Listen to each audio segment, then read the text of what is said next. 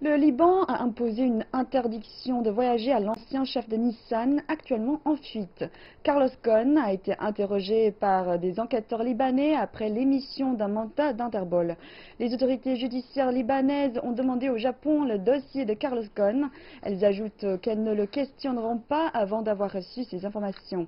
Un avocat de l'ancien responsable de Nissan a déclaré qu'après son interrogatoire, Carlos Ghosn s'était montré confiant concernant la justice libanaise. Le dirigeant d'entreprise s'est enfui à Beyrouth alors qu'il attendait son procès à Tokyo pour sous-déclaration de revenus, abus de confiance et, détournement de fonds de l'entreprise.